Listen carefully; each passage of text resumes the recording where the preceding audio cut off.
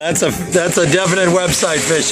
When that kingfish goes from one end of this giant fish box and this yellowfin to the other, you're talking monster. We don't even know 60s, 70. 65 inches anyway. Almost. Oh, easy. That's a that's a 72 inch box. Okay, so he's 70 inches. Yeah. Oh yeah. That's what he looked like. Because he was as tall as I was. Yeah. He was over six feet. Yep. Wow. And I ain't no lightweight. I couldn't lift Way to go, man. So, Hey, Jawstoo fishing team, baby. but Wow. Bye. bitches rule. Wow. Happy birthday. Thank you.